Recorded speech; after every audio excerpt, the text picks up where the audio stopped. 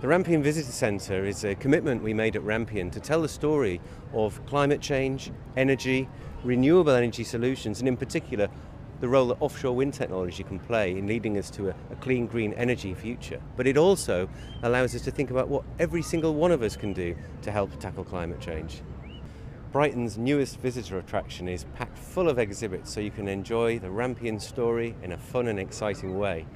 interact with our very own planet Earth, generate your own electricity, design and operate your own Rampion wind farm, and even take a virtual tour out to the, to the wind farm, climb a tower, and stand atop one of our Rampion turbines to marvel at the view right out across the wind farm.